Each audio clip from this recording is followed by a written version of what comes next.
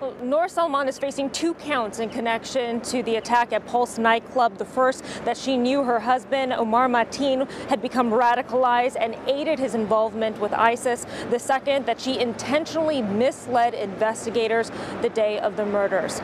Inside the federal courthouse, Salman was sullen, head down, very soft spoken when read her charges in connection to the June attack at Pulse nightclub, a venue popular among the gay community. The 30 year old has been living in San Francisco for the past several months until her arrest yesterday by FBI agents, seven months after the deadliest mass shooting in modern U.S. history.